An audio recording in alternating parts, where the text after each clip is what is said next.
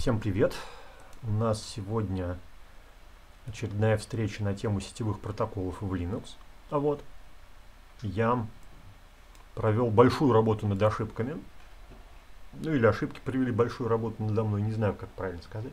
Причем это относится и к моему неудачному эфиру в прошлый раз, и к настройкам а Firefox в этот раз. Дело в том, что монитор, на котором я все это смотрю, и, соответственно, э, скринкаст, которого вы наблюдаете, он такой полтора HD, вот, то есть там две с, с гаком пикселей 1000 на 1000 с гаком, и, соответственно, шрифты по умолчанию маленькие. Я их увеличил, но, к сожалению, сайтики, многие, в частности, движок Сфинкса, такие вещи понимает очень плохо, и э, э, у него время от времени встречается ширина поля в пикселях. Вот мы ее вчера наблюдали как раз. Ну вот, э, что еще могу сказать? Еще могу сказать, что сайт readthedocs.org заблокирован Роскомнадзором по решению Иркутского суда, но только он, то есть все работает, кроме титульного сайта readthedocs.org. Ну, в общем, мы сейчас знаем, что люди очень не очень грамотно занимаются этой блокировкой, поэтому что поделать. Вот, это такие новости на сегодня. А у нас сегодня транспортный уровень, и я попробую поговорить про то же самое, про что мы говорили в прошлый раз, но, ну, вернее, про то, что мы пытались поговорить в прошлый раз, но на новом, так сказать, уровне.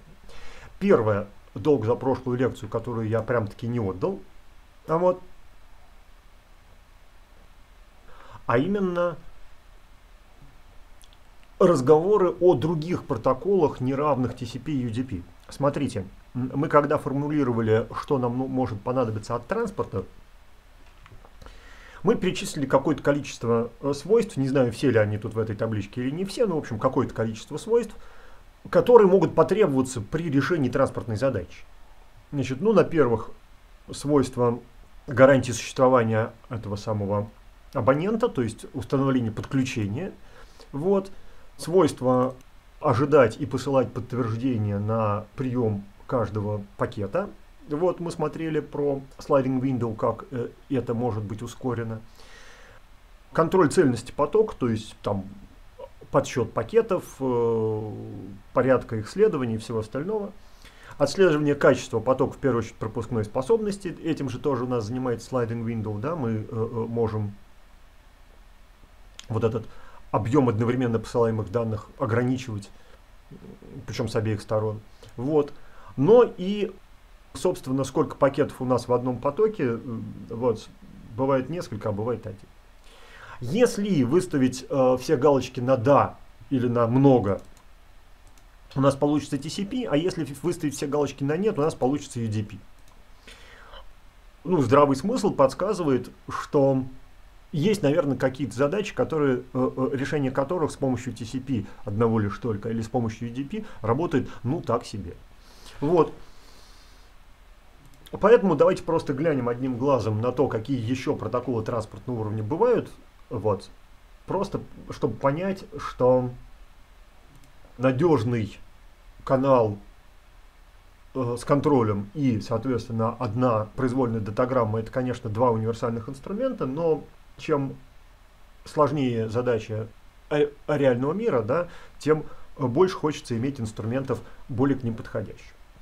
Значит, первое, ну, не знаю, кто из них исторически первый, но вот первая из задач – ситуация, когда у нас порядок э, э, данных в потоке соблюдать надо обязательно, но данные оттуда могут выпадать из этого потока, имеют право. И вот эти выпавшие данные нам точно не нужно получать повторно. Или почти сразу перестает быть нужно получать повторно. Типичный пример – это любое мультимедийное вещание, особенно широковещательное. Да? Мы знаем, что э, нельзя делать широковещание с помощью TCP, потому что э, на все потери от каждого из ваших абонентов вы будете получать подтверждение э, ретрансмита и все остальное, и вы задолбаетесь. Вот. Э, мы также подозреваем, что поточное, скажем, видеовещание с помощью TCP дело такое, да, у вас пропал какой-то кадр, и там в течение целого тайм-аута этот кадр никак не приходит. Вот смысла его этот кадр пересылать нету. Пускай лучше картинка немножко окрасится кубиками, но будет продолжать работать, чем э, даже если вы потом в конце концов этот кадр получите, он уже никому не будет нужен. Да? Вот. И для этой цели, как раз для решения подобного рода задач, придуман протокол DCP, вот, который расшифровывается как датаграмм, что-то такое, как, как э, датаграмм, что-то такое, Cognition Control Protocol, control. Uh, то есть идея состоит в том, что у нас, собственно, датаграммы, но эти датаграммы, во-первых, упорядочены, мы знаем, в каком порядке они должны идти, да, и uh, внутри какого-то небольшого буфера мы их можем переупорядочить при получении. Вот. А во-вторых, они вполне могут пропадать в случае, если там переполнение какое-то или еще что-то. Вот. Я его поставил первым, потому что я подозреваю, что это один из самых первых разработанных протоколов, ну потому что мультимедийное вещание. Ибо для него есть даже специальный, специальный стандарт, как, э, на устро... как его оборачивать в UDP э, заголовки, чтобы устройства, которые не понимают, не умеют DCCP, думали, что это UDP и просто пропускали это как датаграмму. Вот. Такой вот, значит, гибрид можно было сделать. Да, итак, вещание, при котором у нас важен порядок, условно важен, ограниченно важен порядок, но точно не важна цельность, или тоже она очень ограниченно важна, ее надо, не надо ее соблюдать, надо соблюдать в первую очередь э, фронт самого потока. Еще один вариант, когда у нас одновременно э, э, совершается много потоков передача сразу большого количества разных наименований данных с одного сервера на другой, ну, например, сложная веб-страница или что-нибудь такое. Вот. Но на самом деле нет, на самом деле это в первую очередь со всякими технологическими взаимодействиями связано. И вот в этом подключении, в этом соединении, э, в действительности это не один поток, а много фактически э, мы относимся к большому подключению как к такому потоку с параллельно передаваемыми объектами, а к микро микропотокам там внутри скорее как к объектам произвольного размера. Да? Такая безразмерная датаграмма внутри, внутри значит, э, потока датаграмм. Да? И вот порядок этих датаграмм, то бишь этих микропотоков, которые начинаются и через некоторое время довольно быстро заканчиваются, он не очень важен. Ну, кто первый закончит, тот, тот, тот и молодец. Да? А вот Внутри них, конечно же, важно, чтобы был порядок, цельность, это самое качество, вся вот эта вот ерунда. Вот, то есть это такой поток для, э, такой протокол для передачи большого объема разнообразных данных э, внутри одного подключения. Вот. Поскольку большой объем внутри разнообразных данных это всегда э, массовое обслуживание, тут первый раз возникает тема, которую, возможно, мы еще сегодня потрогаем, это атака на протоколы типа TCP, вот, связанные с тем, что для каждого, для каждого соединения ваш компьютер, линуксовый, например, должен при, при установлении соединения отводить сразу здоровенную, ну, здоровенную, приличного размера структурку для обработки этого соединения.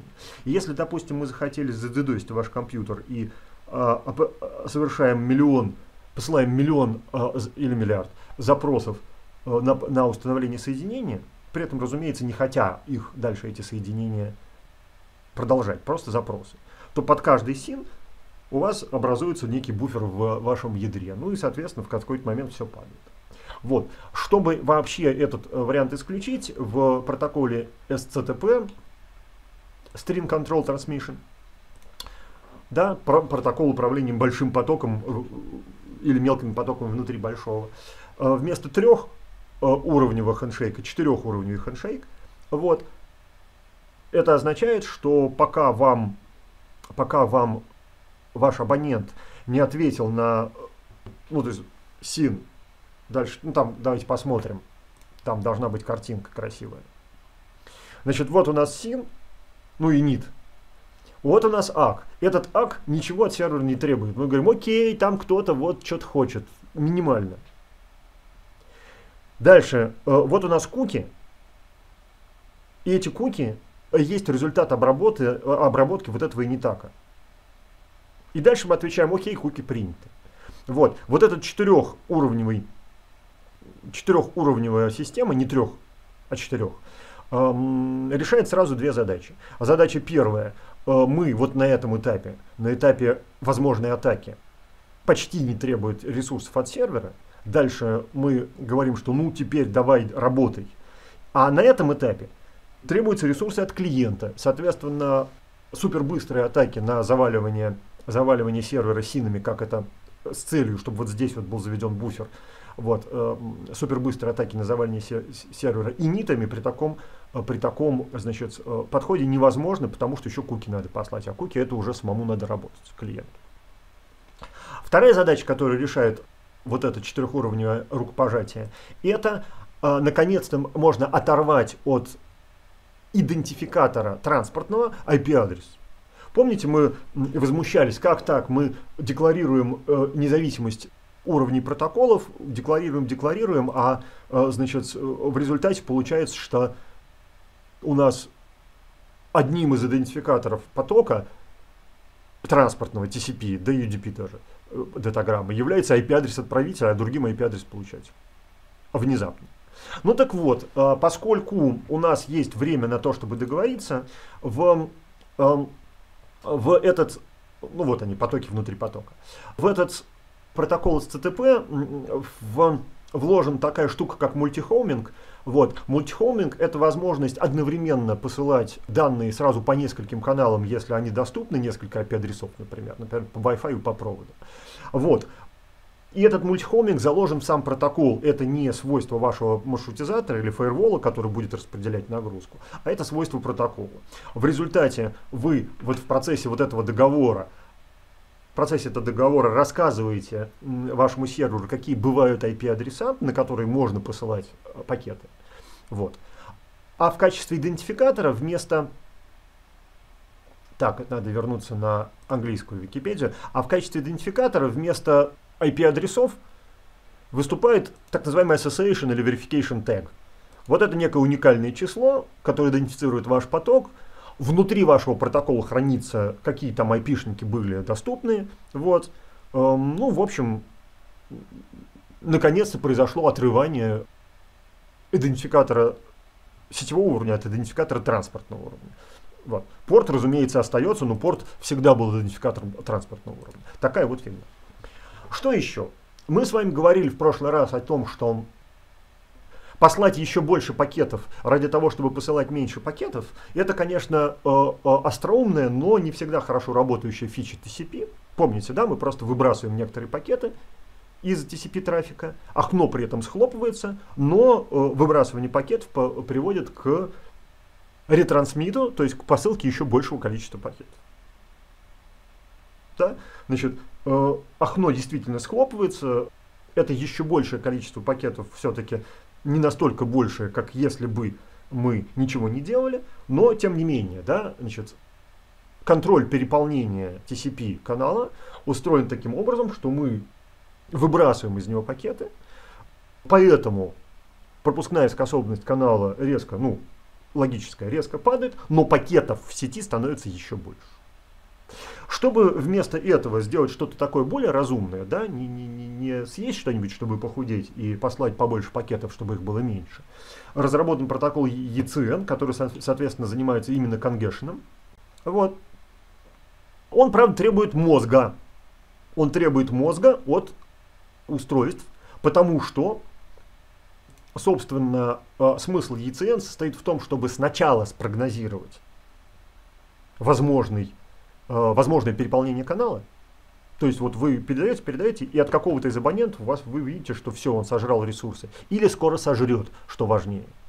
А потом, когда вы прогнозируете, что вот этот чувак сейчас сожрет ресурсы, вы ему посылаете ЕЦН уведомление о том, что знаешь что, это фитилек-то а, а, прикрути, коптит.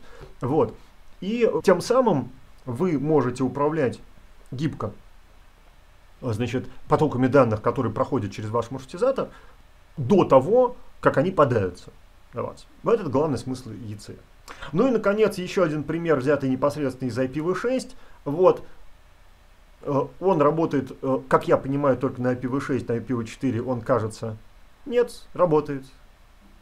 Работает на IPv4. Но способ его реализации, этого протокола, а это протокол Resource, resource Reservation – он какой такой чисто IPv6, вот, связан с тем, что мы на всем пути предположительном следования наших пакетов, на всем пути от, от, от э, источника до приемника, говорим, а нам потребуется такая-то пропускная способность. или такой-то quality of service. Например, это делается для э, разграничения того же мультимедийного трафика, который чувствителен к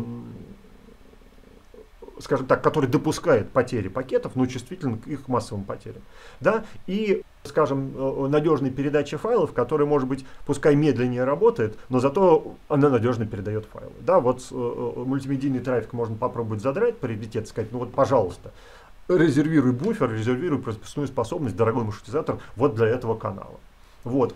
И вот такая примерно, вот такая примерно ерундень, опять-таки, типичный вызов современности, челлендж, прошу прощения за а, а, термин, вот, позволяет сервисам, которые как раз рассчитывают на ненадежный, но по возможности как можно более цельный поток данных, резервировать нужный ресурс. Вот. Понятное дело, что это сплошной договорняк, что если э, много абонентов внезапно будут ломиться на один и тот же сервер с требованием выдать им все ресурсы как можно больше, ничего хорошего не получится. Это надо уметь балансировать. Вот. В принципе, вы можете придумать еще много всяких протоколов транспортного взаимодействия. Обращаю ваше внимание, речь идет о транспортном уровне, на котором мы решаем э, задачи надежности доставки, э, управления потоками, вот это все.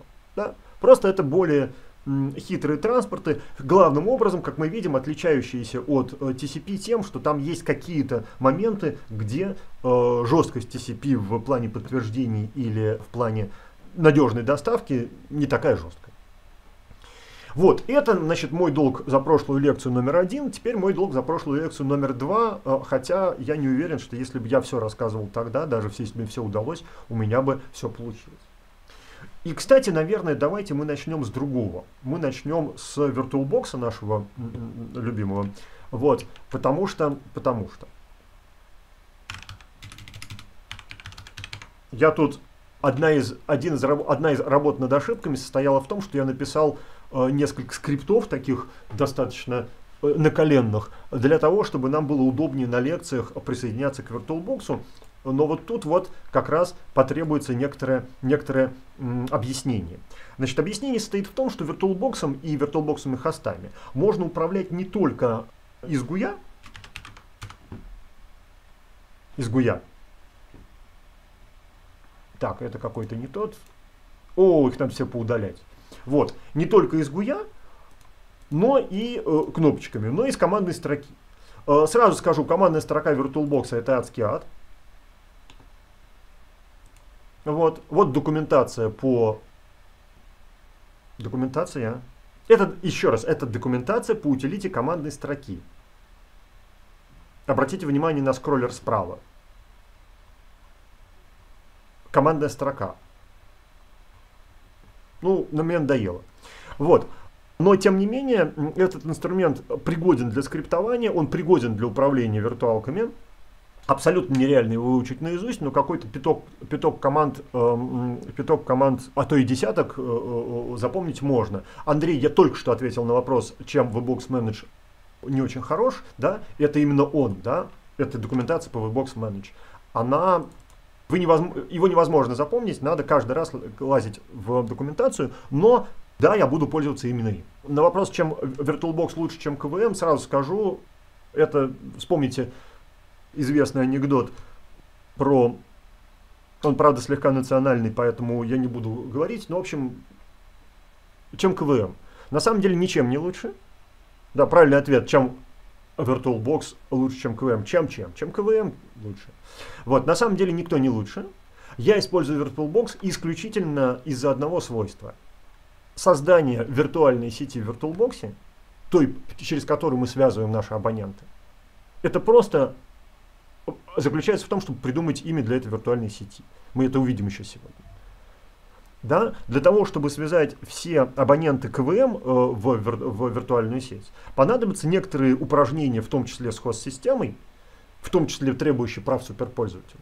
В том числе э, не всегда до конца работающие. В том смысле, что такая виртуальная сеть на самом деле э, э, полноценной виртуальной сетью не является.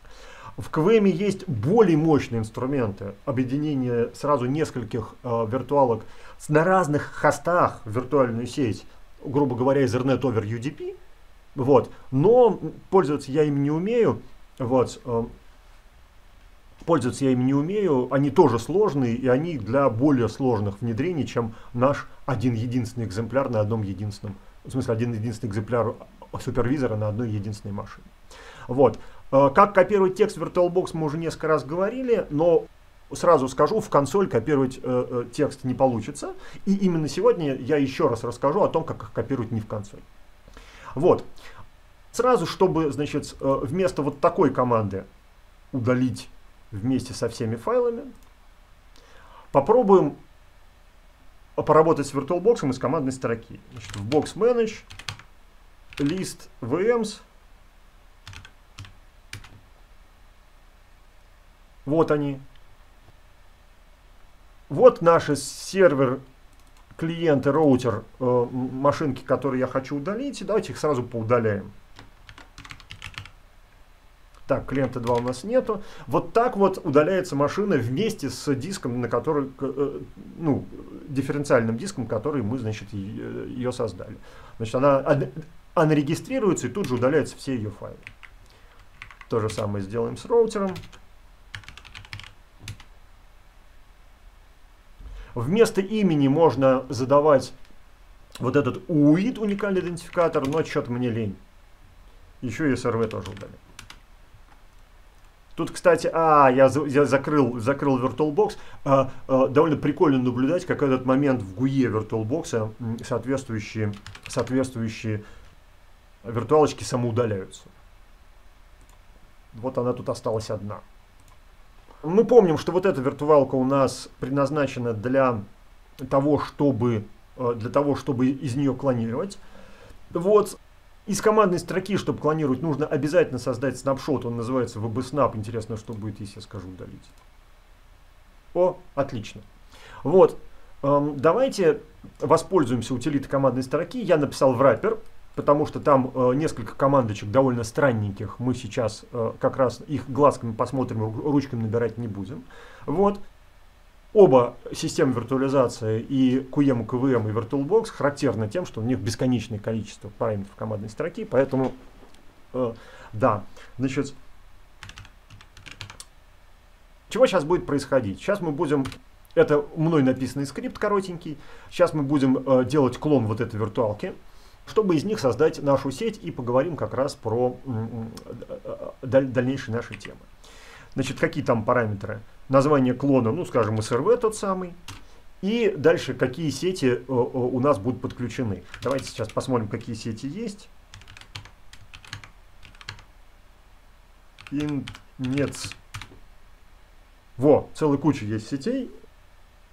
Вот, это просто все сети, которые где-то как-то в моих виртуалках названы. Ну вот давайте, значит, скажем VBSnap, назовем наш клон SRV, порт на который мы будем телнетиться, только не телнетиться, об этом я тоже расскажу, э, можно указать в этой утилите явно, а можно не указывать, потому что он э, сам выберет по количеству, э, по количеству виртуалок, просто по номеру количества виртуалок при, при, при, приплюсует их к стартовому номеру. Мы сейчас это увидим. Еще раз, это утилита мной написанная, это вот 10 строк на шеле, ну может быть 15, э, я ее опубликую, если кому надо. Вот сегодня после лекции. Значит, дальше мы указываем сети, к которым мы хотим подключить. Ну, традиционно сервер у нас одним концом уходит в интернет, и этот ETH 0 мы не трогаем, а ETH 1 будет называться интернет. Вот. По-моему, этого достаточно. Недостаточно. А, базовый. Мы должны указать базовый. Баз, а из чего мы клонируем-то? Мы клонируем из alt minimal, конечно. Вот. Что при этом произошло? Сначала был снят снапшот под названием VBSnap. Если такого снапшота не было, вот он.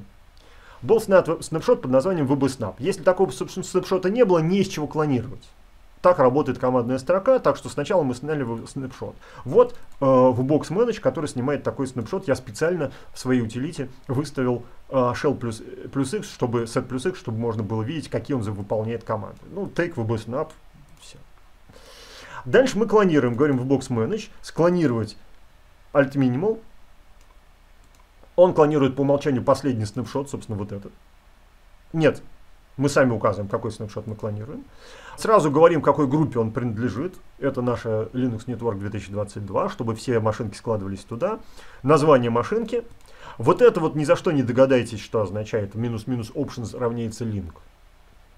Это означает вместо полной, полного копирования диска делать дифференциальную копию, вот, которая обращается к исходной как базовой. Почему link? Видимо, когда-то там симлинки ставились, что ли, в прошлой жизни, не знаю. Вот. Дальше мы ее автоматом тут же регистрируем, чтобы она вот здесь получилась, появилась. Ну, собственно, все. Вот. И так, так, так создается, э, э, создается клон. Вот он этот клон. Он называется SRV, как мы и сказали. Дальше этот клон мы должны еще донастроить. Донастраиваем этот клон с помощью, о, о, здесь был клон VM, здесь modify VM. Донастраиваем клон SRV со словами компорт будет такой, что слушает на TCP, на TCP порту, как сервер, на порту 2301. Вот это 2301, это просто вир, ну, количество виртуалок в нашей группе Linux Network плюс 2300. А дальше мы настраиваем сетевые карточки. Говорим, сетевая карта 2 имеет тип intnet и подключена к сети под названием intnet. Тут, к сожалению, путаница. Вот это тип internal network, а вот это э, ее название, оно просто так же называется. Ну и кабель подключен. Вот. Теперь мы можем эту машинку просто запустить, пускай работает сервером. Можем сюда дабл-кликнуть, а можем сказать Start VM.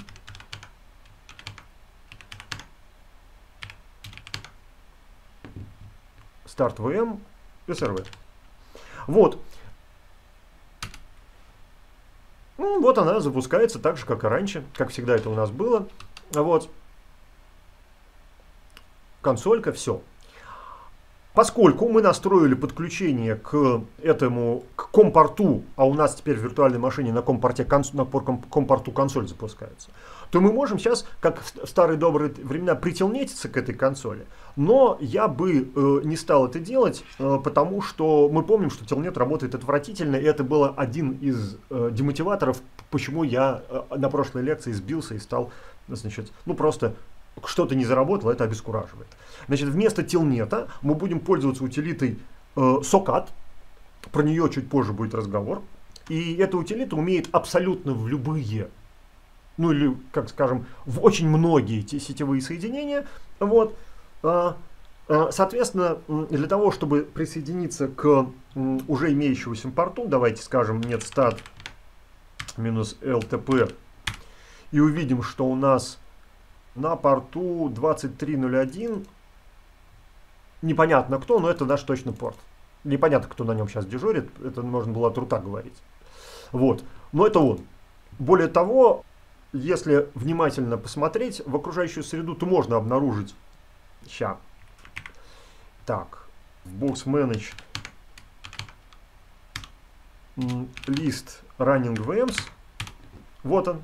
А если сказать минус L, то он расскажет все настройки и в частности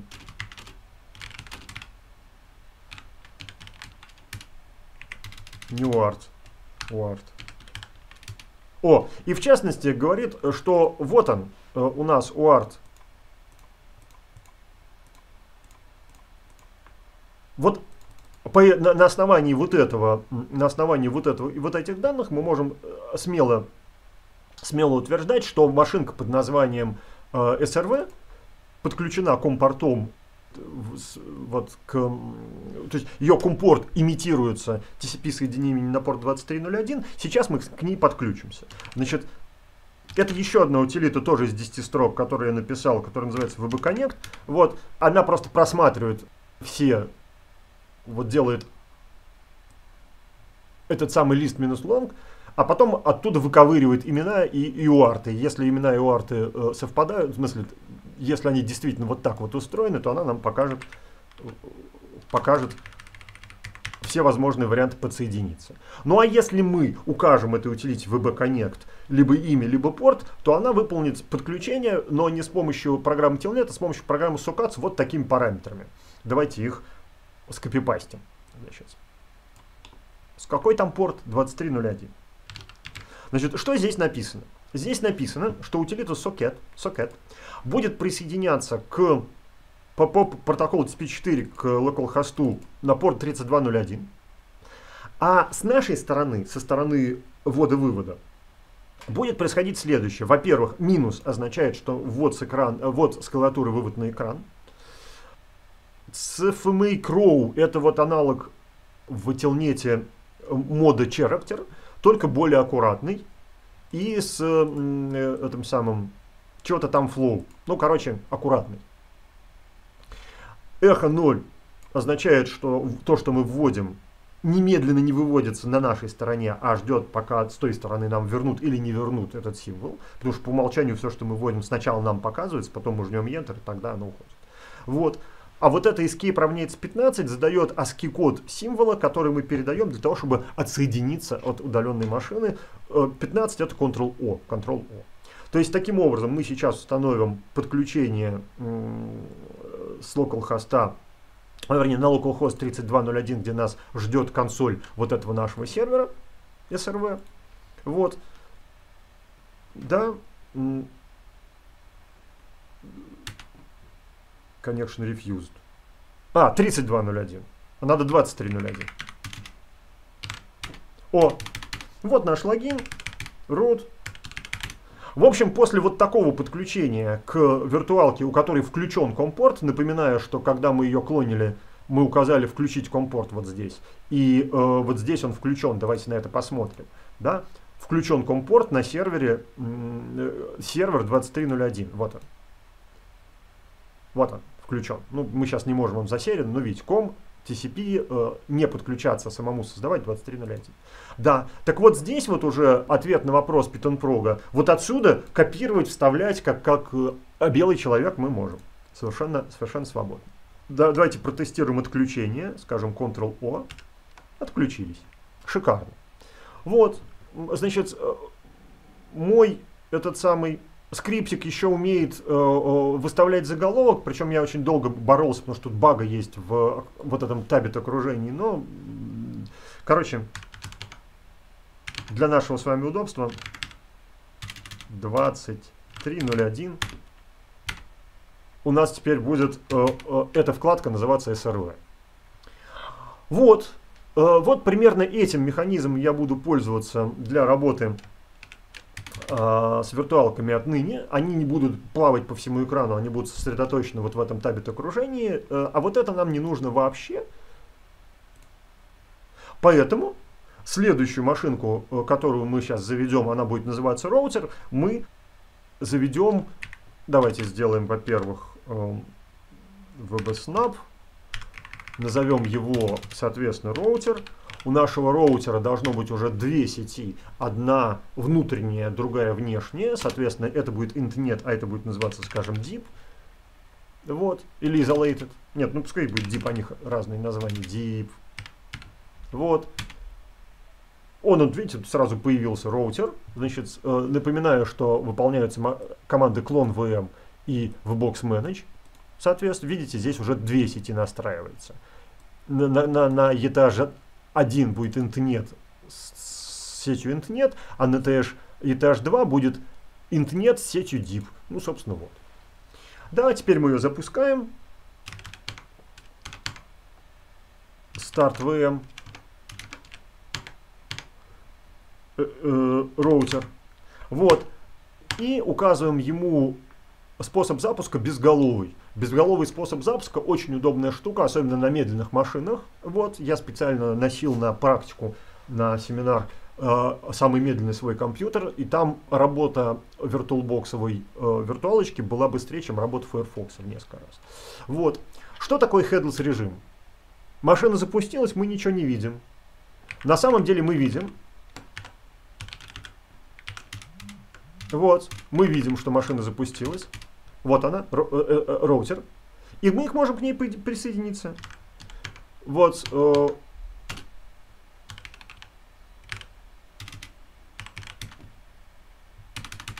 Ну, она еще не загрузилась. Ждем. Давай, давай. Похоже, что зависло. Давайте перезагрузим, господи. Там, видите, вот окошко-то видно.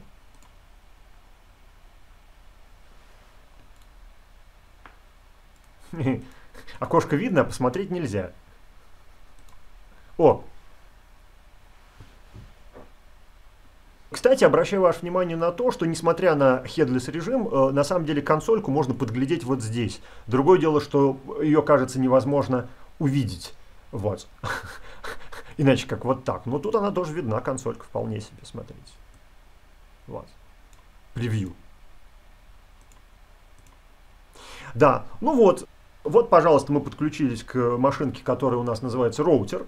Давайте мы ее переименуем. Да ладно, это был пароль, ну...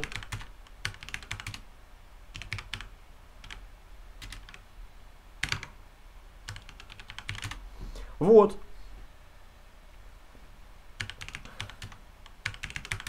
И еще один запрещенный прием, который скорее всего, никому и многим из здесь присутствующих не будем э, на, на, накладывать квант-робственность не понадобится.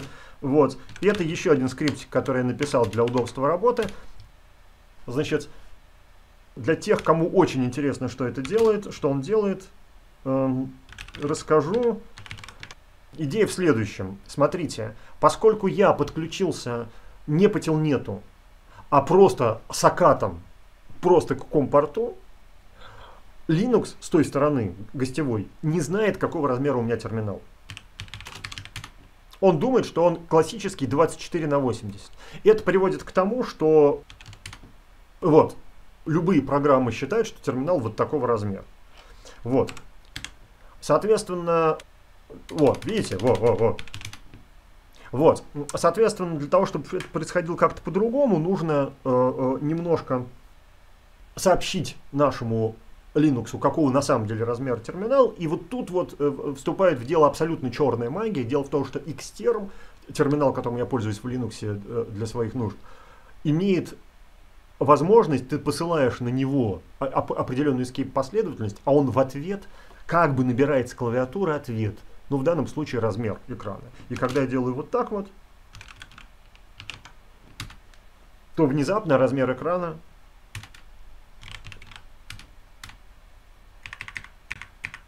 становится правильным 36 на 98. Ну и заодно там всякие интересные штуки начинают работать, цвет появляется, вот, эм, а главное, появляется цвет в команде IP.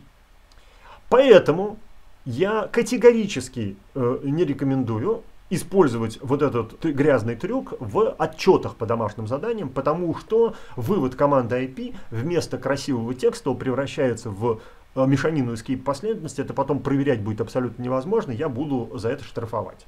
Поэтому для себя любимых используйте, пожалуйста, вот эту штуку. Это всего лишь навсего IP минус-минус color равняется auto. Вот. Вот она. А в отчетах, пожалуйста, не используйте эту штуку, по умолчанию она не включена. Вот. Такой вот мерзкий хак, но зато нам будет красиво на лекциях. Так, я, кажется, почти все сказал. Я не сказал только о том, как подавить машину. Это очень смешно. Реально очень смешно. Сейчас э, э, э, покажу. Просто покажу. Значит, эм, для того, чтобы остановить машину с точки зрения а, VirtualBox, надо послать ей команду ACPI Power Button. То есть, как если бы кто-то нажал на корпусе а, Power Button. Вот почему так, ну, видимо, слов не хватило.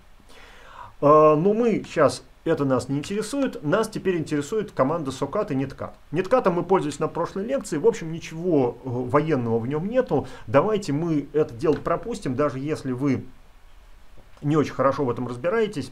Почитайте, там, ну, правда, listen, не listen, cat, не cat, все очень просто.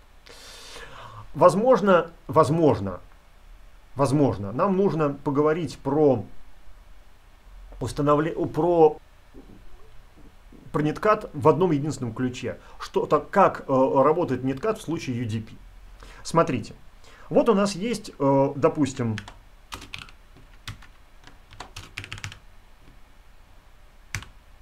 Так, это у нас что? Это роутер, у него будет всегда единички в конце. А это у нас э, сервер, у него всегда будут двоечки в конце. Вот. Да? Отлично. Вот у нас есть э, два хоста в, в одной сети. Мне кажется, я написал вчера вот ночью утилиту, которая еще и сети показывает. Сейчас, давайте попробую, попробую, попробую выяснить этот вопрос.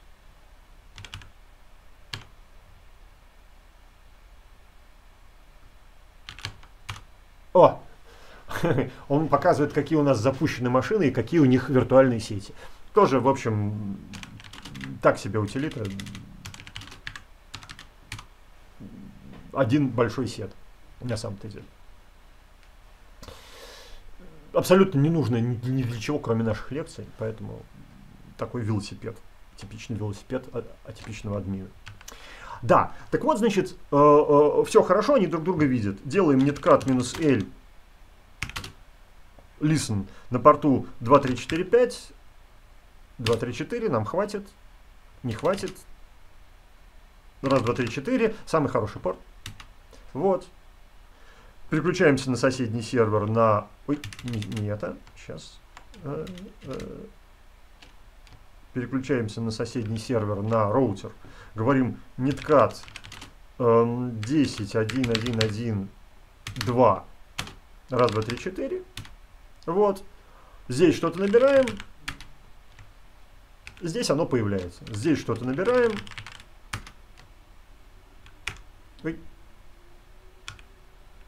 Здесь оно появляется. А, поскольку это TCP, по умолчанию Netcat работает на уровне TCP, мы установили подключение, надо было где-то а, а, запустить этот самый TCP-дамп. Да? Давайте мы а, запустим TCP-дамп. Вот.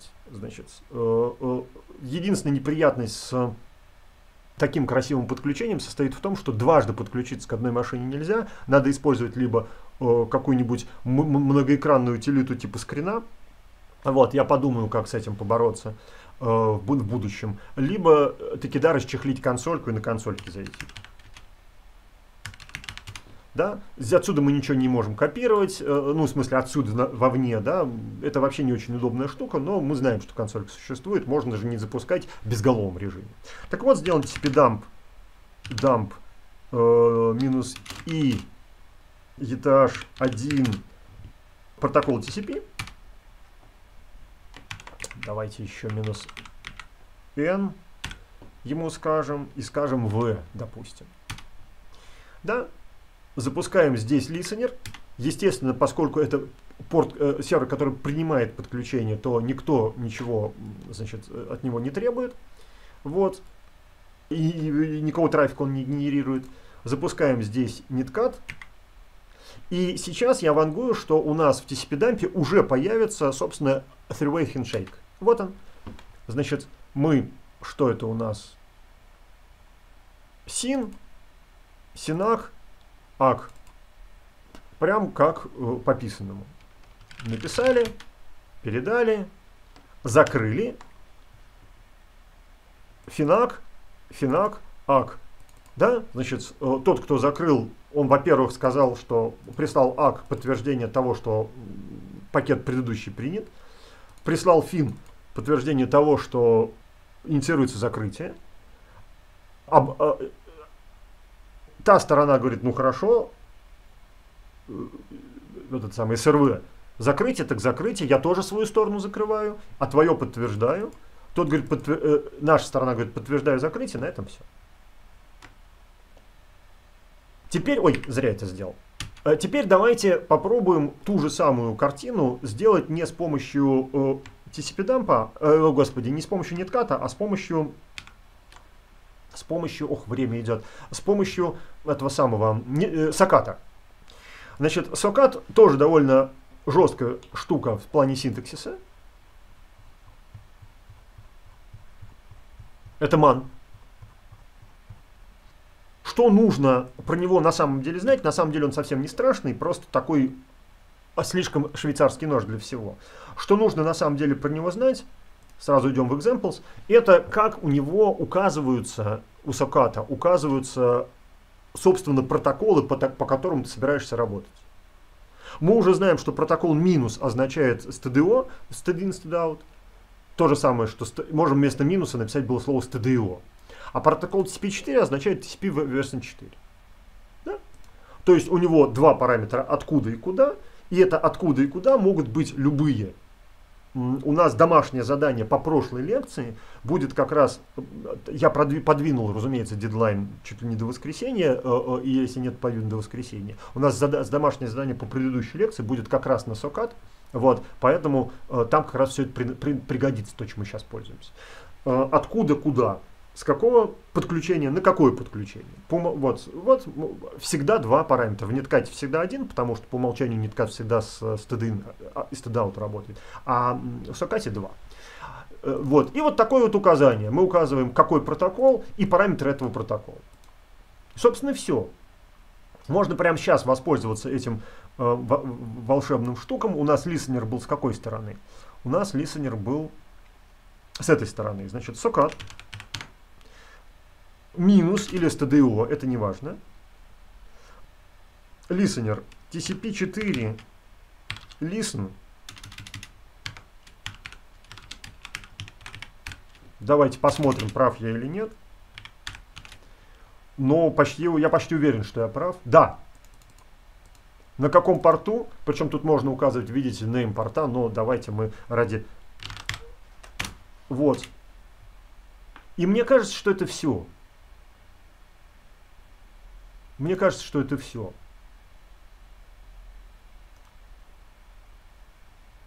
Вот. Ну вот он слушает.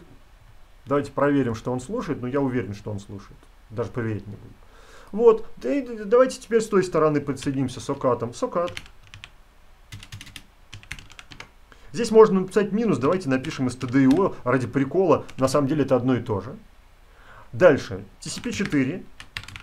Это у нас подключение, поэтому безлистно. На адрес 10.1.1.2 на порт раз, два, три, четыре. Вот. Вот у нас произошло подключение. Здравствуйте, CPDump. Да? Вот любая из сторон может начать передавать данные. Давайте начнем ради интереса с сервера. Вот они, эти данные передались. Мы видели, как оно моргнуло тут. Вот.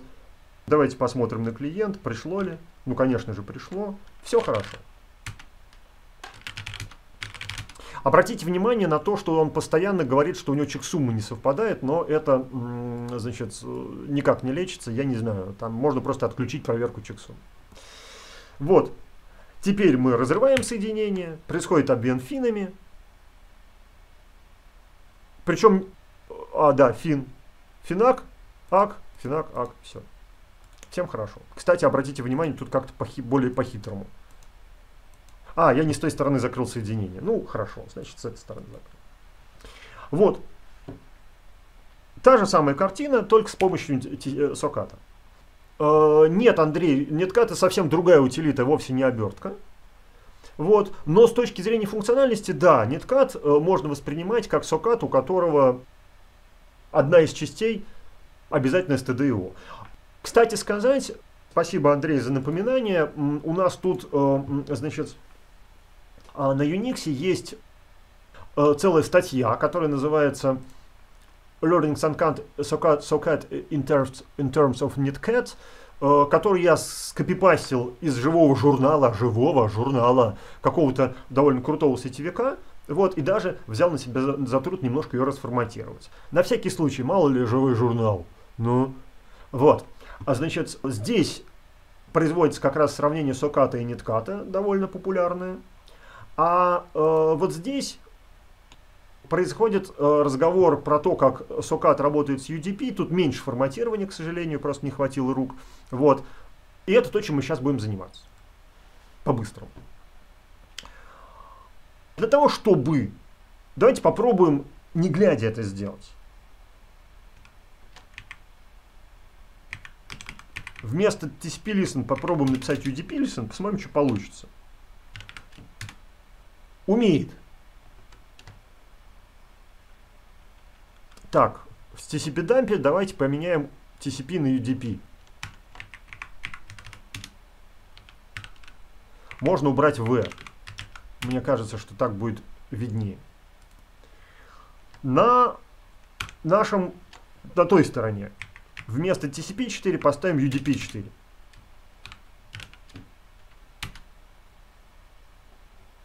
Давайте попробуем. Пока ничего не происходило.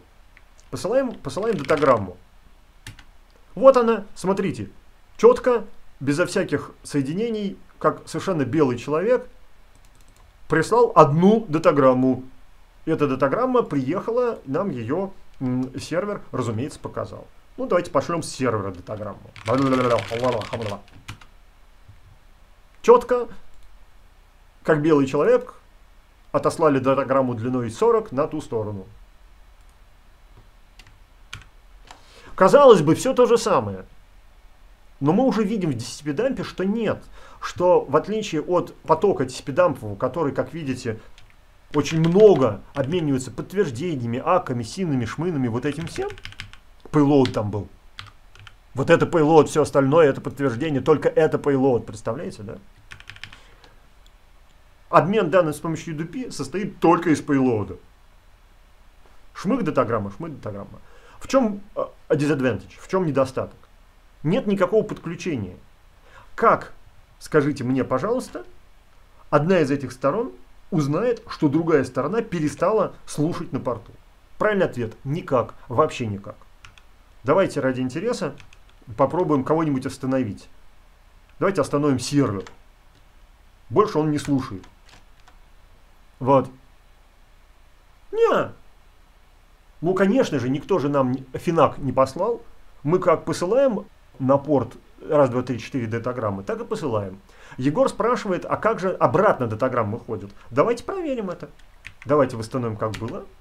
И еще раз пошлем, пошлем отсюда сюда датаграмму новую. Вот она пришла. Обратите внимание, Егор, на то, что идентификатором транспортного уровня, как вы помните, является 4 числа. Адрес отправителя, порт отправителя, адрес получателя, порт получателя. Что мы видим на этой, на этой диаграмме? Мы на этой диаграмме видим, что с, э, с адреса, в данном случае мы с кого? С роутера посылаем. С адреса 10111, с порта 44577 на адрес 10112, порт 1234 по протоколу UDP пришла датаграмма. Наш Сокат знает, что эта датаграмма пришла с этого порта.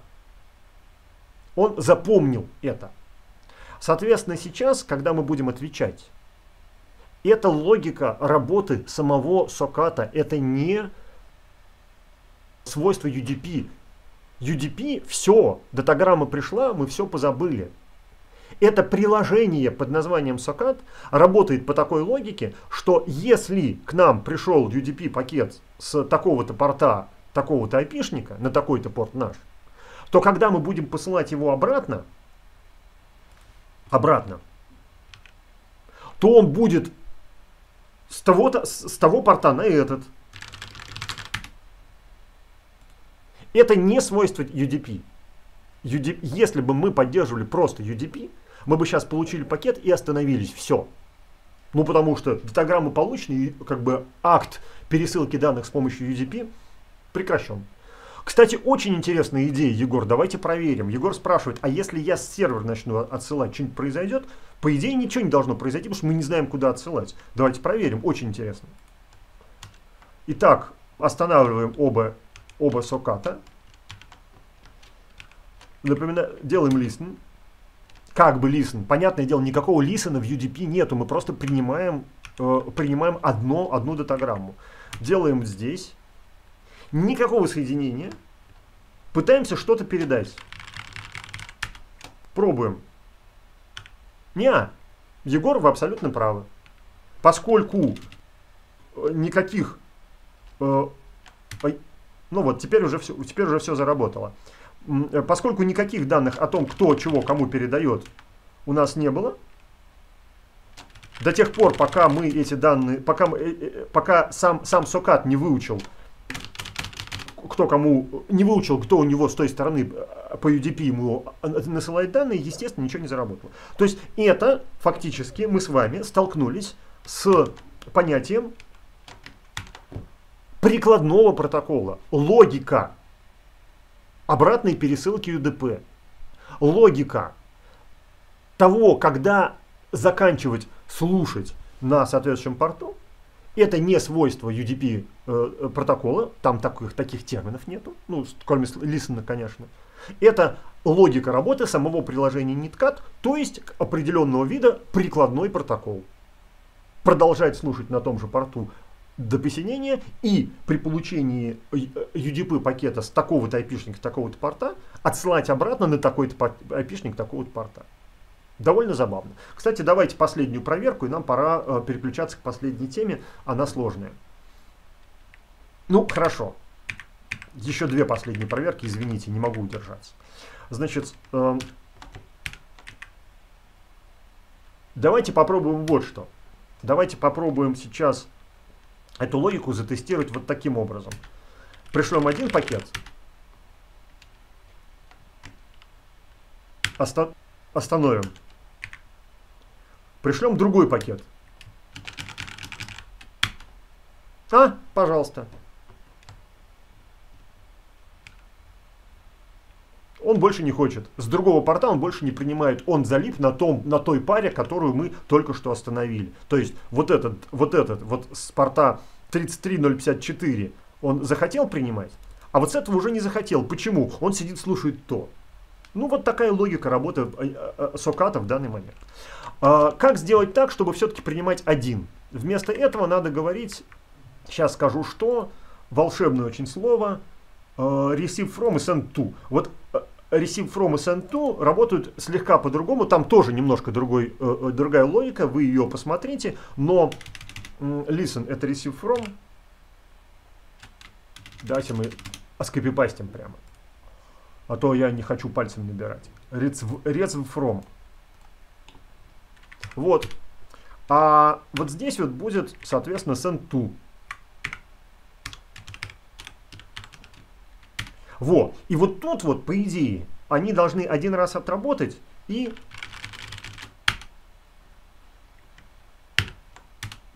прекратить. Ну-ка. О! Вот. Другое дело.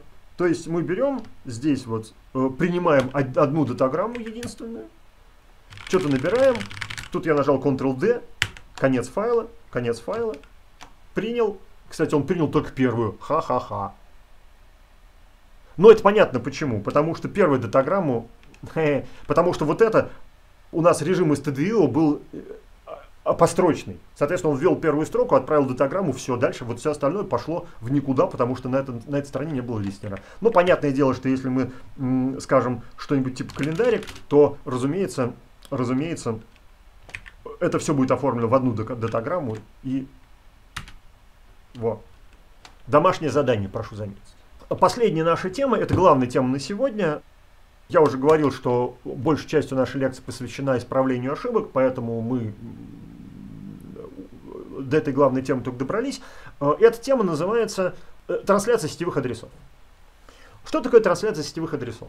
Это механизм, который позволяет подменять один IP-шник другим при прохождении трафика сквозь транслятор сетевых адресов. Вот. А зачем это может быть нужно? Ну, например, если у нас IP-шник из интернет-диапазона, там 10 что-то там, 192, 168, что-то там и так далее, а нам нужно в интернет ходить. Значит, кто-то на пути нашего пакета должен подменить наш IP-шник нормальным IP-шником. Ну и обратно. Когда-то очень давно, и это то, что у меня не получилось на прошлой лекции, подмену IP-адреса одного другим можно было сделать с помощью э, э, просто маршрутизации. В момент принятия решения о маршрутизации просто IP-шник менялся. И это довольно бессмысленное действие, потому что оно предполагает, что вы просто в режиме один к одному подменяете один IP-шник другим, а такой задачи, как правило, нет. Поэтому в какой-то момент просто выбросили это все из... Э, э, э, с какой-то, какой-то момент просто выбросили все это из... Вот.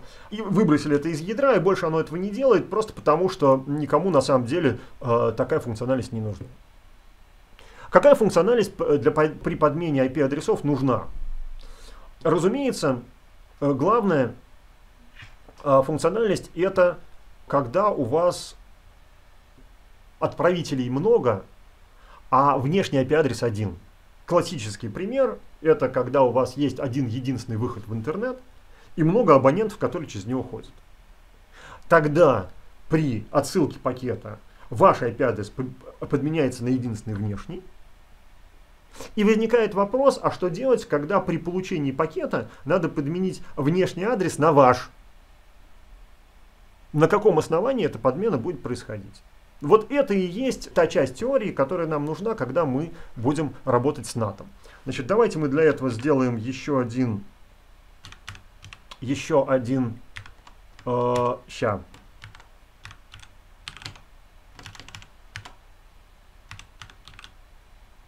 Еще один э, хостик, будет называться клиентом.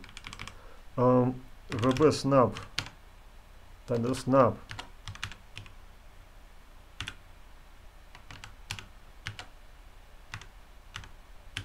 Во. Значит, э, будет называться клиент 1. Будет присоединен он уже к сети только div. Вот он.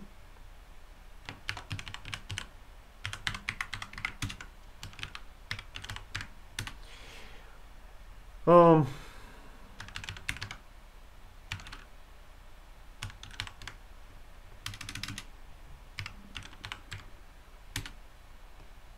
Вот он. Да. Давайте его сразу переназовем.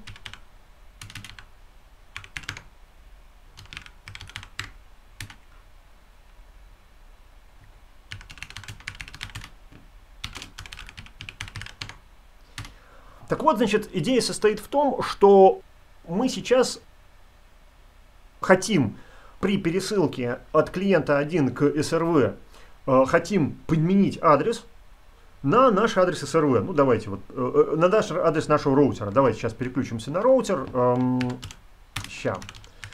Up этаж 2 поднимем. Это наш дип, э, э, наша сеть дип. Адрес на ней нас на, на, на, на, на, на, на, намылим. Ну, какой адрес? Ну, скажем, 221. Вот. Э, на нашем клиенте интерфейс поднимем. Адрес намылим. Это адрес будет 222 это roads.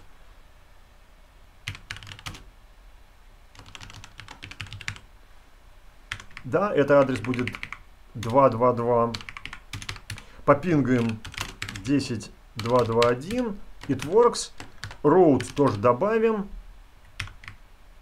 Только дефолтный, конечно. Default via 10221. Да, и вот в таком состоянии будем жить. Вот, вот значит, route у нас есть дефолтный, есть э, автоматически настроенный, вот у нас айпишник, все хорошо. Проблема в том, что уже прямо сейчас мы, в принципе, не можем даже попингать наш хост, который, который SRV.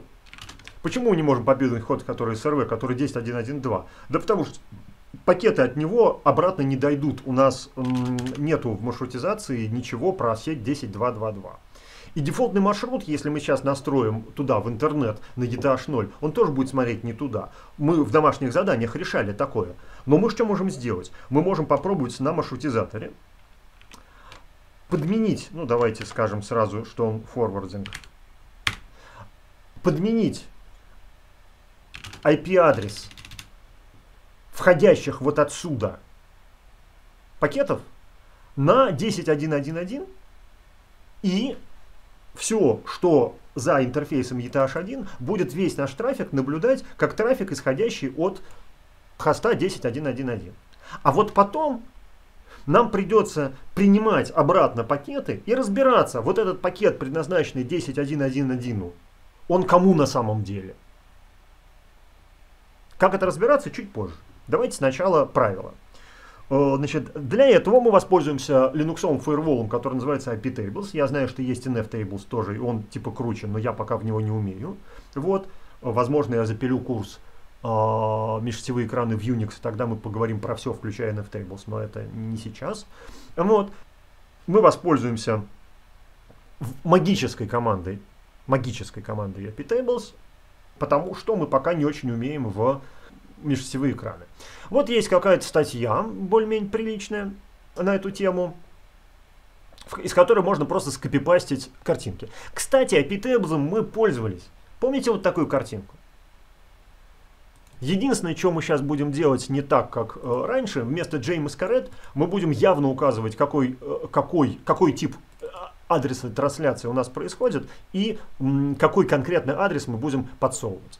Давайте так. AppTables минус А, ну, минус TNAT, минус А построутинг, построутинг, минус О исходящий, исходящий интерфейс ETH 0, минус J SNAT,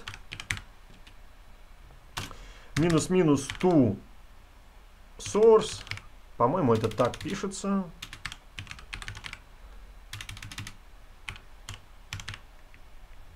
равняется, давайте посмотрим, нет, не равняется через пробел, э, наш внешний IP-адрес, то бишь 10.1.1.1. Давайте еще ради чистоты эксперимента ограничим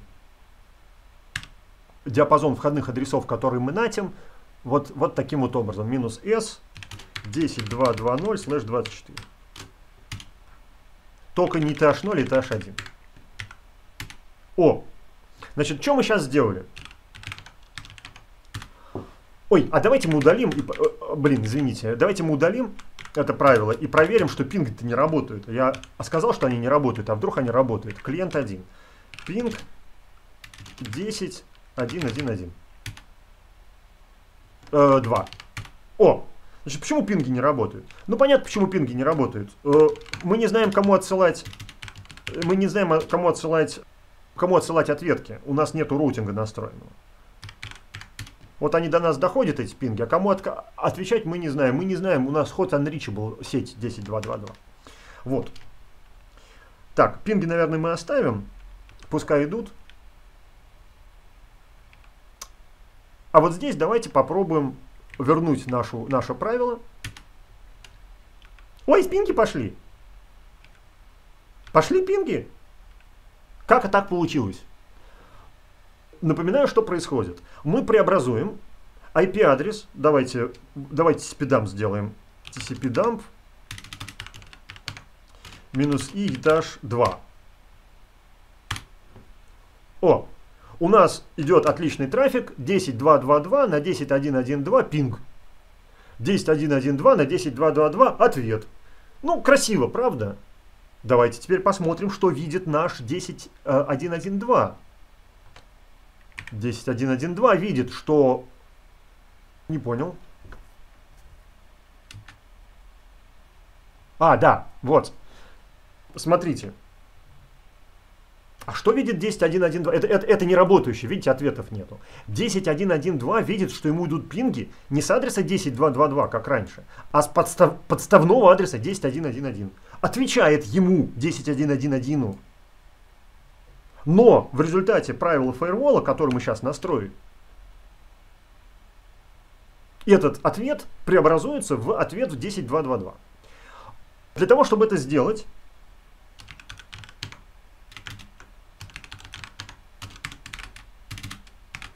Вот, для того, чтобы это сделать, нужно отслеживать такие потоки данных, и запоминать их. И когда мы получаем пакет, предназначенный 10.1.1, вот этот, мы должны в него заглянуть, посмотреть, какому потоку данных он соответствует, и на основании этого сделать обратную подмену адреса. В данном случае потоком данных считается пинг. Почему пинг может считаться потоком данных? По случайной причине на самом деле. Потому что у пинга есть помимо адреса отправителя еще серийный номер пакета. Видите? Это серийный номер самой коннекции id. Он у каждого пинга разный. Если я еще раз запущу пинг с той стороны, здесь будет другой id. Кстати, давайте проверим это.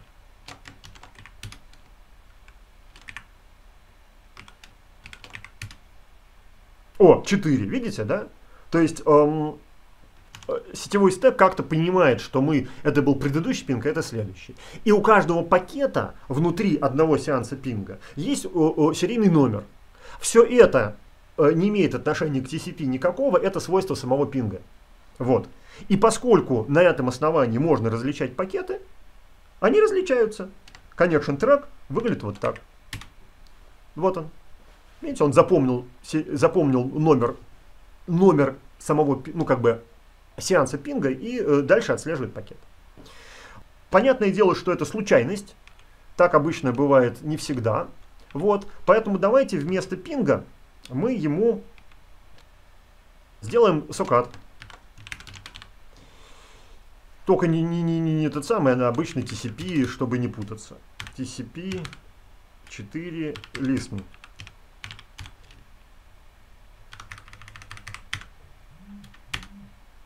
Wrong number of parameters. А, понятно. Вот. Да? Вот мы слушаем на TCP соединении. Давайте мы попробуем туда что-нибудь засокатить отсюда. Сокат минус 10 1 1 1 1 1 TCP 4 двоеточие раз, два, три, четыре. Давайте мы по TCP дампим, что у нас здесь происходит на роутере. Ой, а это мы на роутере запустили, это были бы неправы. Это надо было на сервере запускать. Это клиент. О, я все запутался. Я запутался. А, нет, все нормально. Значит, здесь вот listen. Надо внимательно смотреть на название хоста и заголовок. Это у нас сервер. А, вот почему я запутался. Здесь остался от МЦ какая-то хрень. Но все равно видно, что это SRV. На сервере у нас listen. Ну да, да, да, дорогой listen. Без, без, вот, вот так listen. На сервере у нас listen. Ой. На клиенте, на клиенте у нас э, socat минус TCP4 TCP 4. Да блин, P4, 10, 1, 1, 1, раз, два, три, четыре. Конечно, refused. А, 2.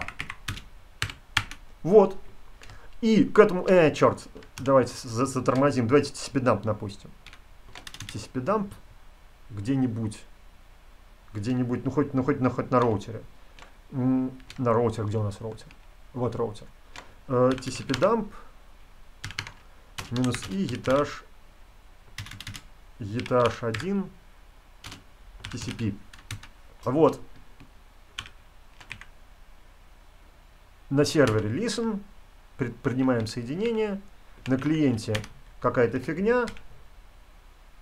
Вот э, установилось соединение. Обратите внимание, что оно уже поначенное, и с точки зрения выхода пакета из из интерфейса ETH соединение происходит не с адреса э, 10.2.2.2, э, э, а с адреса 10.1.1.1. Ну и дальше мы отлично можем совершать всякие наши сакаты, ну как это обычно и бывает. Вот. При этом как выглядит, э, как выглядит вот здесь, э, как выглядит connection tracker. Это я не то нажимаю. Вот здесь, connection tracker, контракт минус L. Вот он. Connection Tracker говорит, что вот оно соединение-то. Отсюда вот сюда идентификатор соединения, в котором мы будем подменивать IP-адреса, выглядит следующим образом.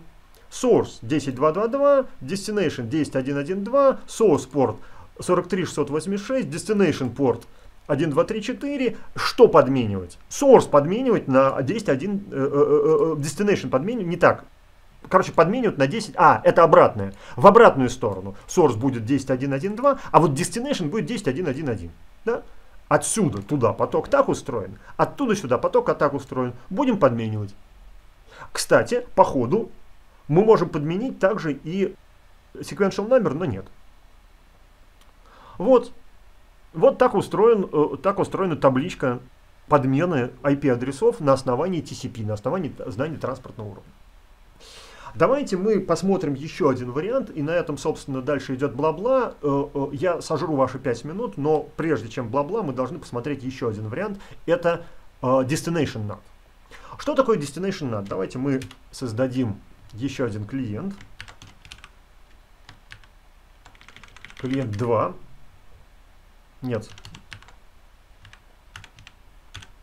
Клиент 2, присоединенный к той же сети. Э, там клиент 2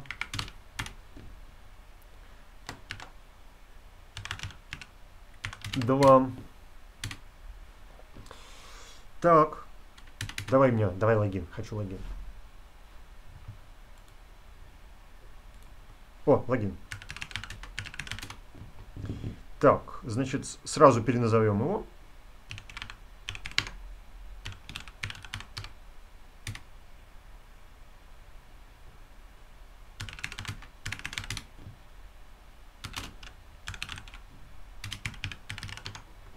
Понятно.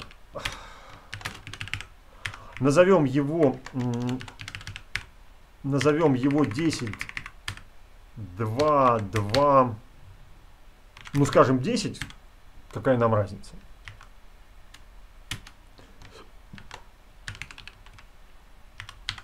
И дефолт via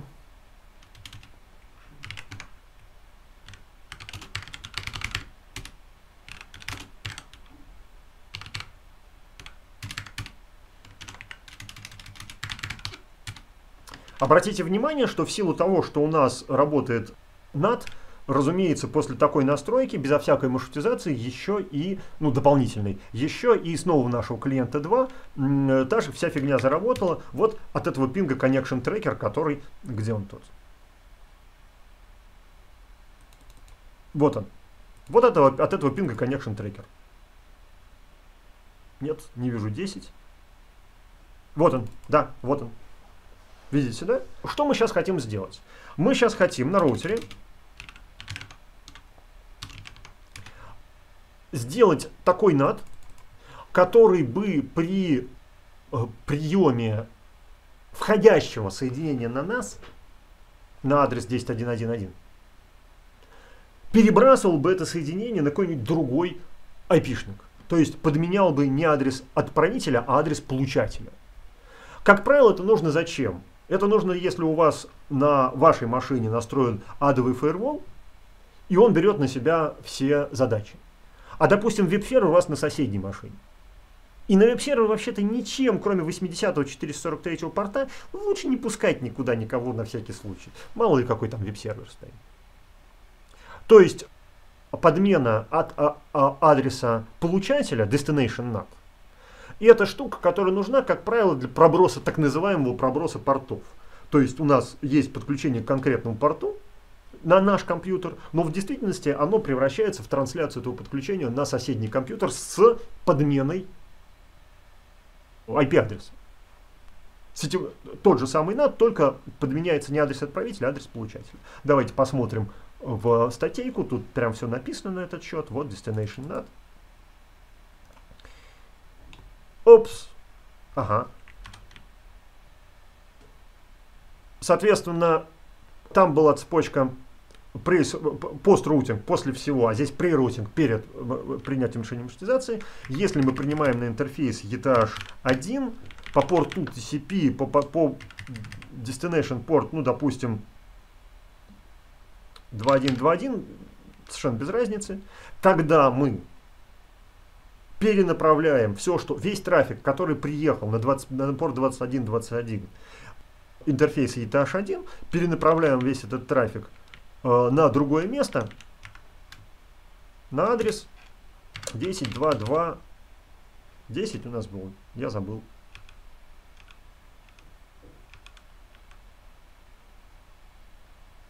Десять. Десять. О, значит, по моему представлению, в моем представлении сейчас это будет выглядеть так, что если мы подключимся по, пытаемся подключиться к роутеру по любому порту, кроме 21, то ответит роутер. А если мы попытаемся подключиться к роутеру по, по, к любому порту, кроме 21.21, а если мы пытаемся подключиться к роутеру по порту 21.21, э, то произойдет подмена адресов, и мы полезем на 10, 2, 2, 10. Давайте проверять. Значит, netcat, ну, netcat, минус L 21, э, 21, 20, или не там, не знаю, там, раз, два, три, четыре. Netcat я сказал. Да, пробуем с сервера, сервер, пинг, не пинг, а netcat, netcat, 10, 1, 1, 1, да, 2, 3, 4. Бла-бла-бла. Ctrl-D. Сработало. Где она тут? Сработало. Пробуем 21, 21. М? Конечно, refused. Не сработало.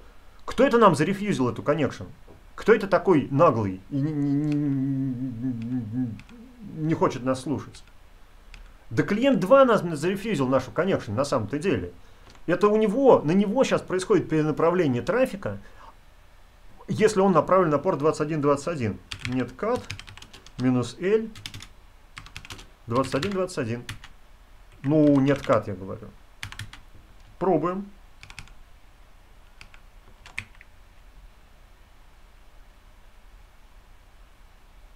Ой, Извините, мне кажется, что я ошибся. Давайте еще раз попробуем. Тут остановим.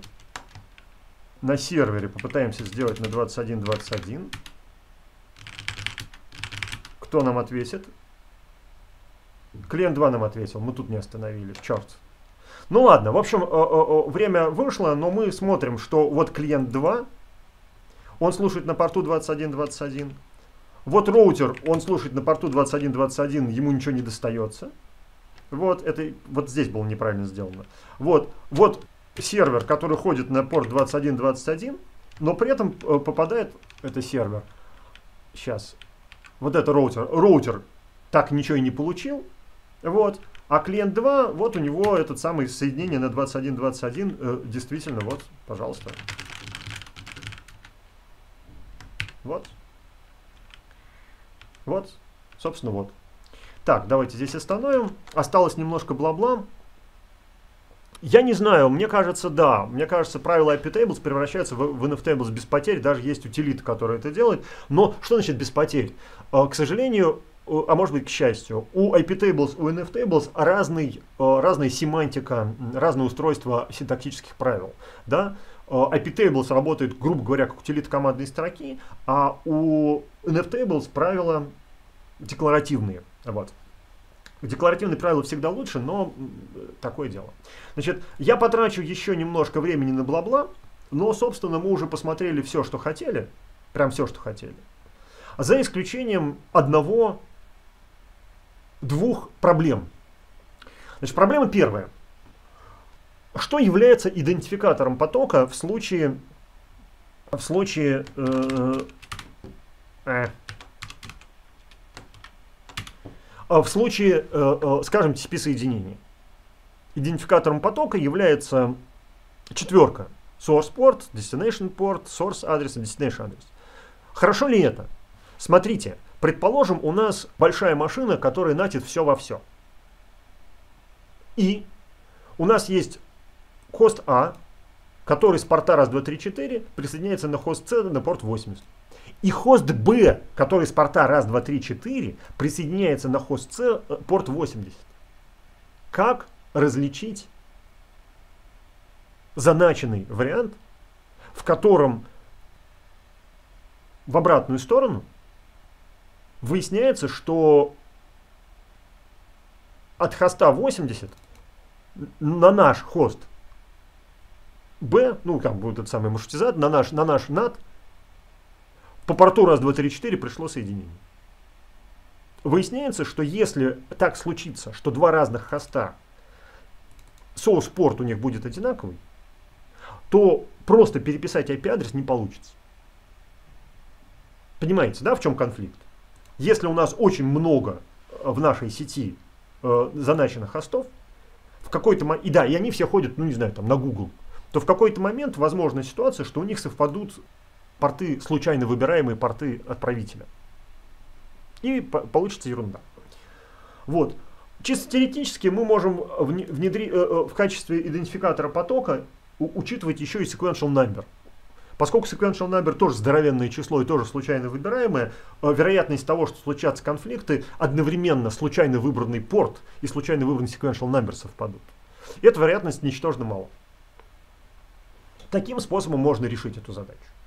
Но давайте еще раз поговорим про SynFlood атак, и на этом, собственно, закончим сегодняшний разговор.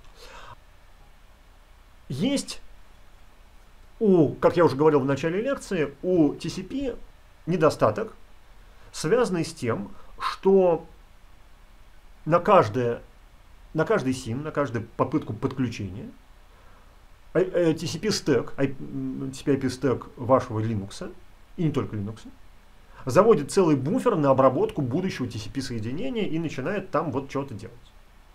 Если атакер захочет завалить машину, чтобы у него кончилась память, ему достаточно несколько много раз в секунду миллион э, совершать посылать син-пакеты, он не собирается делать TCP-подключение, ему-то собственных ресурсов жалко. Он просто генерит бесконечно много син-запросов, и на каждый син-запрос, естественно, в э, вашем ядре выделяется по буферу. Ну и в конце концов все падает.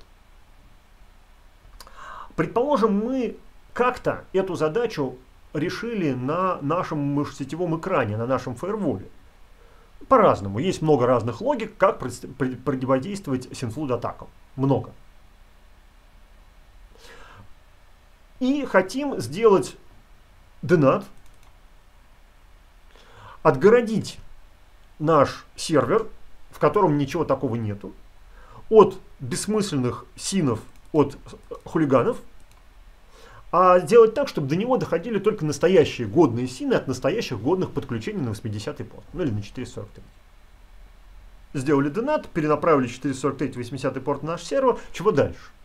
А дальше, разумеется, приходят хулиганы и шлют э, наши страшные, э, страшный синфлот прямо на 80-й порт, а мы его как дурачки транслируем. Плохая идея.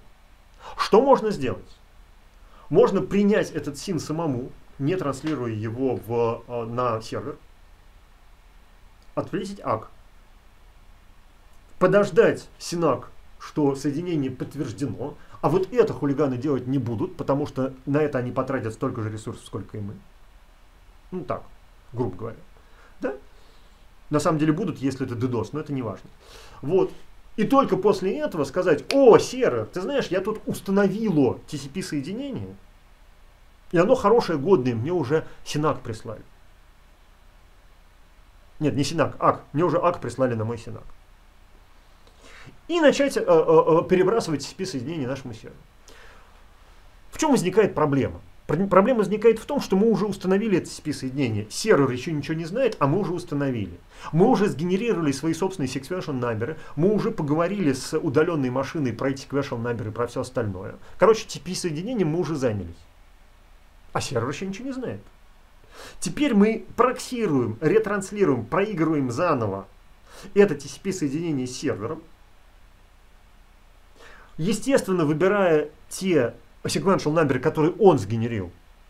И дальше, при такой, таком, таком проксировании TCP-соединения сквозь нас, мы вынуждены одновременно транслировать не только IP-адрес, но еще и sequential number. Почему? Потому что о sequen с абонентом договорились мы, когда делались, э, когда делались этот самый э, синпрокси, а секвен сервером мы договорились позже. И тот секвен, который шлет сервер, надо преобразовывать в тот, который шлем, о котором мы договорились с клиентом. Такая вот петрушка. Э, довольно сложный получается алгоритм. Если наш фаервол все это умеет, и умеет хорошо бороться с синфлудом, и у него есть какие-то специальные штуки, да, вот Егор спрашивает о сам роутер. А сам роутер предназначен для встречания грудью таких атак. Например, он умеет, э, э, имеет какую-то логику относительно э, того, какие, какие сина, синаки, сины не надо вообще воспринимать. Например, у него специально завышены буферы, потому что он ничем другим, кроме как защитой от синфлуда, не занимается. Этим занимаются такие... Это, понятно, что это игра в полицейских и воров, и э, на каждый хитрый найдется свой, но в данном случае речь идет о э, простой пионерской попытке засинфлудить товарища.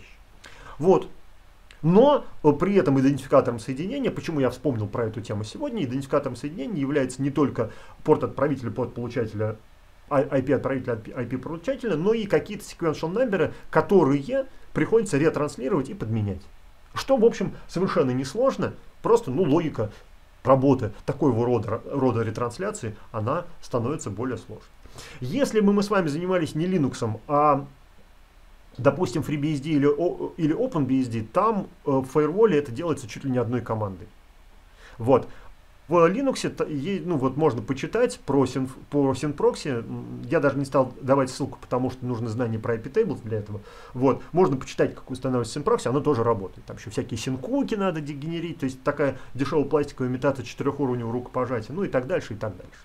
Про все это мы не будем говорить сейчас, и, возможно, не будем говорить в этом семестре, потому что просто времени не хватит. Все, я, как мне кажется, выполнил все домашние задания эм, свои, исправил все ошибки, которые только мог, и даже выжил 10 минут вашего лишнего времени, причем боюсь, что лекции особо не сократить, потому что я гнал как, как не в себя. Вот. Если есть какие-то вопросы, задавайте. Вот, собственно, Андрей спрашивал про изменение исходящего порта. Мы говорили, что такое тоже приходится делать. Да. Um, Сектран. А я даже не знаю, что такое сектран. Давайте посмотрим, что такое сектран.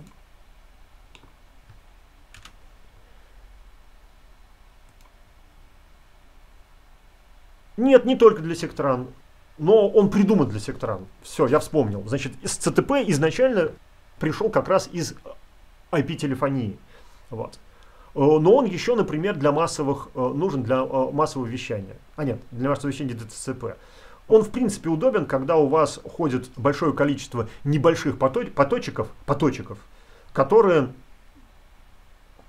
которые надо объединить в один большой поток, а э, порядок этих небольших поточков не нужен. Сейчас попробуем на Википедии ответ на вопрос, где он еще используется.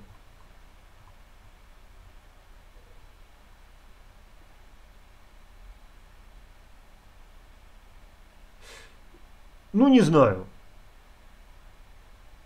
Не буду врать.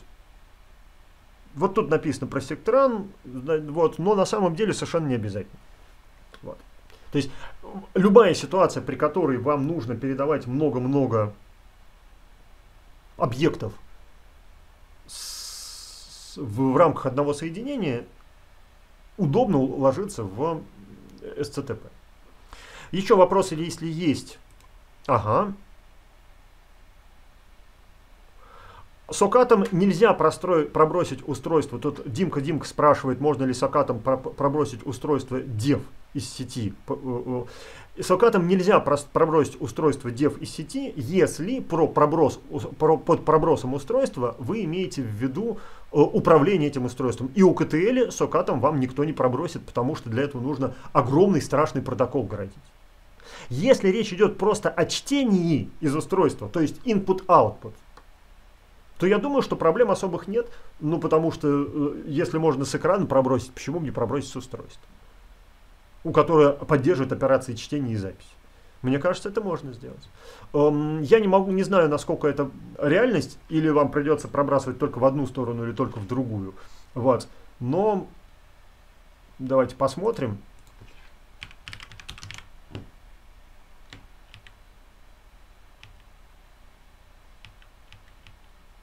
Нет, боюсь, что непосредственно с девайсом непосредственно с девайсом работать он не будет. И я скажу почему. Потому что по-хорошему вы должны уметь работать не с read и write, да, а э, с send и receive сокетами. То есть э, вам нужно уметь э, обращаться, толь, э, э, сокат умеет обращаться только с такими устройствами, по которым э, возможна пересылка асинхронная. Вот, поэтому нет. Никак. UCTL э, это, э, Димка, Димка спрашивает, как передавать UCTL. Никак не передавать. UCTL это специфичный для каждого устройства э, системный вызов, у которого у всех устройства разные. Андрей спрашивает, может ли SOCAT пробрасывать физически реальный последовательный порт. Вопрос в том, что такое физически реальный последовательный порт. Думаю, что может. Сейчас попробуем спросить у интернетов, но опять-таки данные по нему наверняка может. Ну, а почему бы нет? А вот э, управлять этим портом будет нельзя удаленно. Такие вот дела.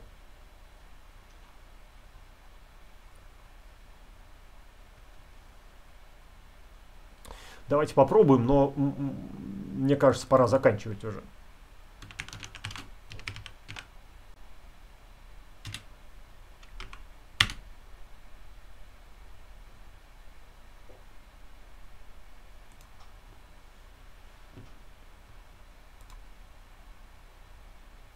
Пожалуйста, линк. Вперед. То есть, э, похоже, что вот этот самый... Ага, видите, что он делает? Он говорит, что, что он сначала его представит как, как терминал. Вот. Так что именно, именно Serial Port можно сделать. Хорошо, братцы, давайте тогда закончим. Время уже у нас 15 минут как. Я понимаю, что в этот раз у меня получилось лучше, чем в прошлый, поэтому всем много интересного сразу рассказал. Но давайте хватит, потому что я боюсь, что э, э монтажер задолбается вырезать 15 минут из моей лекции, и останется их, останется их вместо час, час 30, час 45. Вот, в следующий раз тогда мы продолжаем, у нас уже будет разговор про, видимо, прикладной уровень. Вот, на, на чем, собственно, всем спасибо и э, до новых встреч, давайте надеяться на лучшее.